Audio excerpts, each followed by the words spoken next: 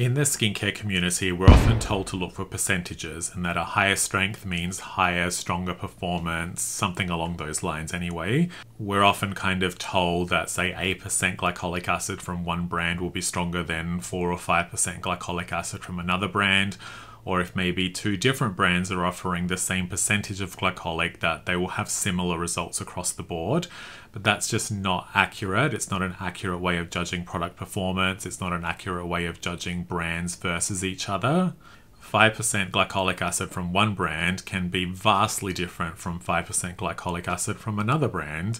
This video would touch on why in skincare products, it is very normal for an acid to be neutralized to a point. How much acid is neutralized is actually what will affect the performance and the experience of using that product it's a very normal standard thing for acids to be neutralized. So it's like if you have 5% of an acid, not all 5% of that is directly active in the product on the skin wherever you're using it. A portion of it will always be inactive. How much acid is neutralized is essentially what creates this differentiation between products and why some products, even at the same percentage, might feel stronger or weaker than others.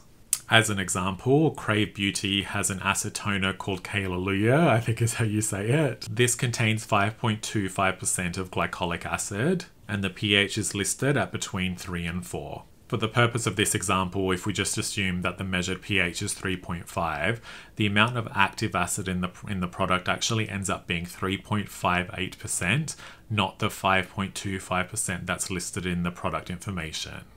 An alternative example is the Pixi Glow Tonic, which I believe has 5% glycolic acid in it. Just on various websites, I could sort of see that the general pH is considered to sit between 4 and 5. And again, for the purpose of this example, let's assume the pH measurement came in at 4.5. This would mean that there's 0.88% active acid in this formula, not the 5% that's listed on the product info. So these are two products with very similar glycolic percentages, but because just the pH varies, it means that the actual amount of active or unneutralized acid in the product varies quite a lot.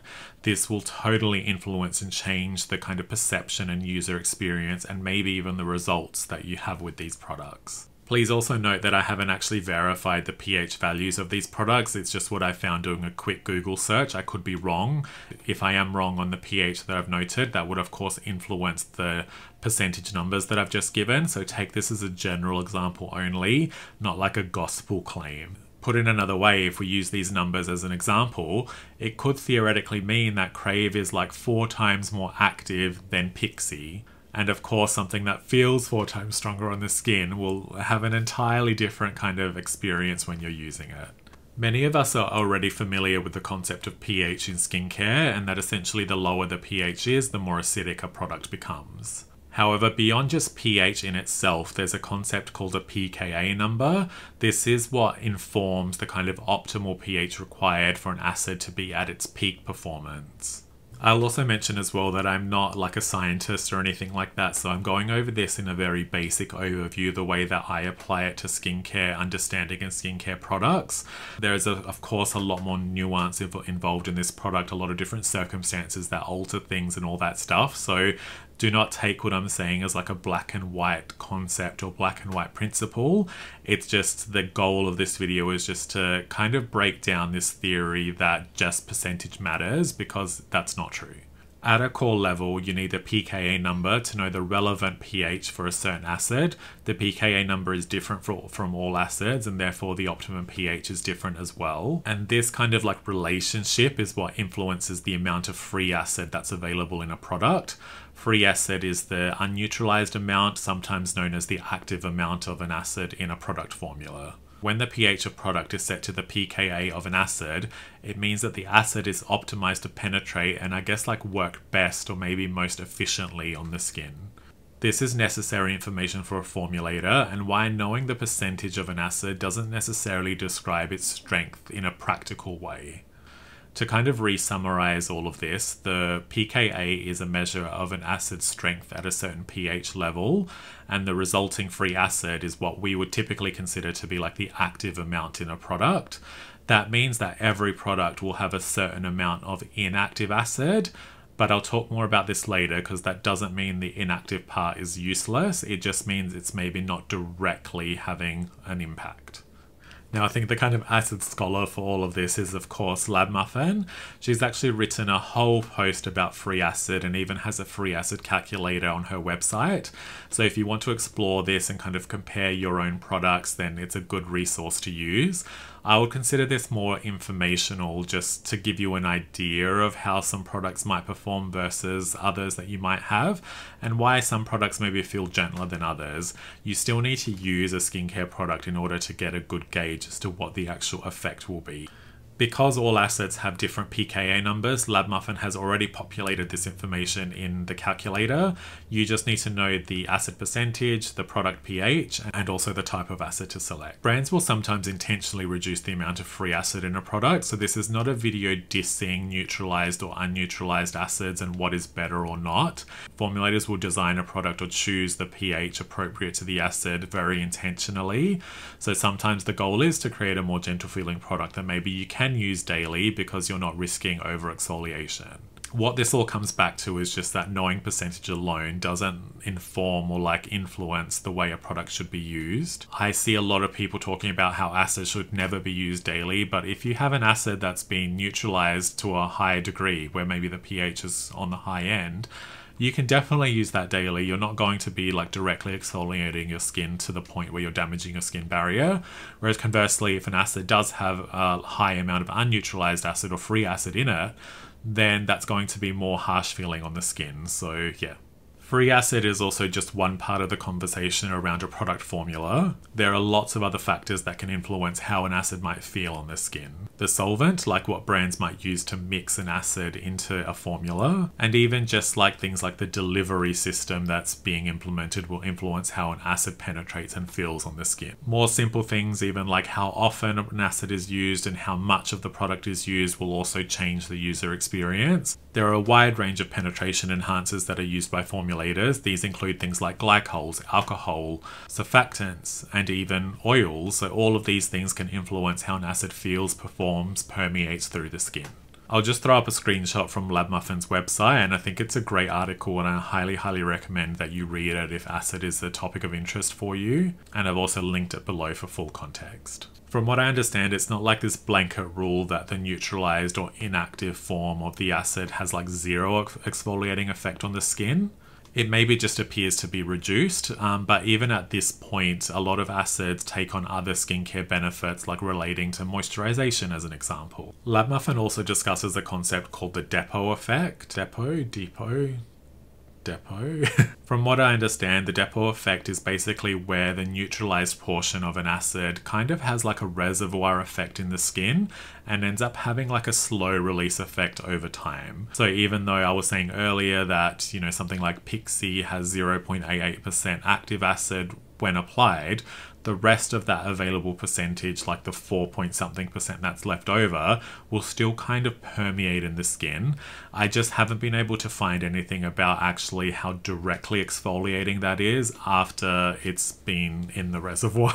oh my god, you can tell I'm not a scientist because this is all very much like surface level explanation. I think it probably stands to reason that the higher just overall percentage of an acid there is in a formula in a formula probably means there will be more of a reservoir effect, so the likelihood of having that sustained release of the inactive acid is probably going to be greater than if it's just a small percentage to start with. At least that makes sense to me. And to repeat, I'm not a scientist, so there's a lot of ifs, buts, maybes around this topic. I just think sometimes the, these sort of skincare rules are communicated in such a simplistic way where every product is treated with the same recommendation and I just don't agree with that at all.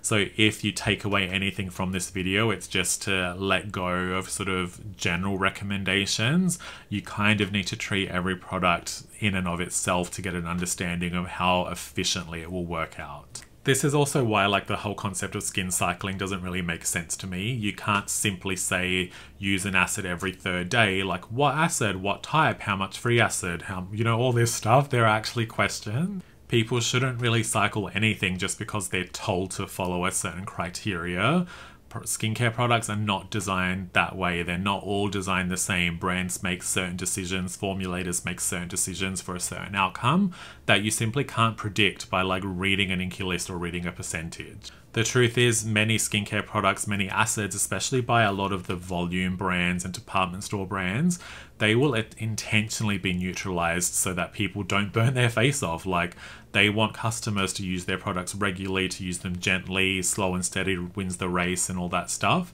As part of being in the skincare community, we've probably embraced more high strength products more easily.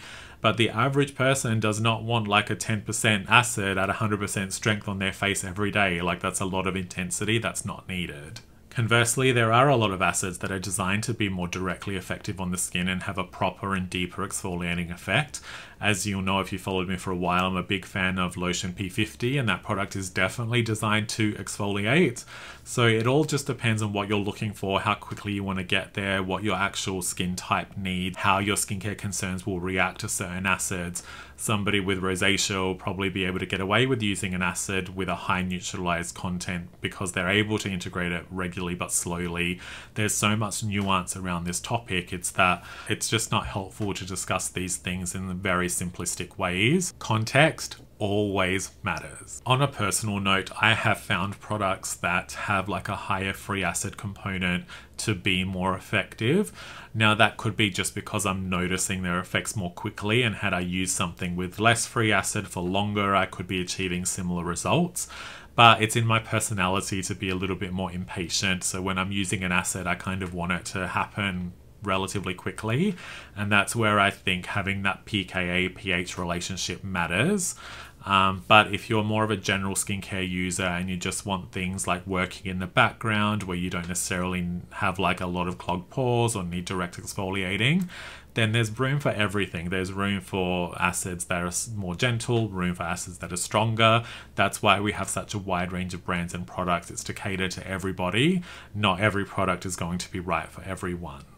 I think lactic acid is a good example. I've definitely used a few of them over the last couple years that have been neutralized to a point where the products are definitely trying to highlight more of the moisturizing effect of lactic, while in the background over time you are getting a slow sort of slow exfoliating effect as well. So again, this is all done intentionally by design, by the formulator and by the brand, depending on what they're trying to achieve and who they're trying to reach. So to kind of summarize all this again, if you've tried two different products with the same acid percentage but felt like they perform differently, this would explain why. And sometimes you might have even used a product with a weaker acid percentage versus a product with a fairly high acid percentage, but you found maybe the weaker product to be more directly effective.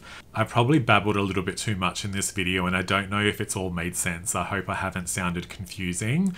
Please do let me know if you have any questions. I'll do my best to sort of clarify or, or explain things that haven't been clear. Thanks for hanging out with me and don't forget to like and subscribe and I'll see you next time.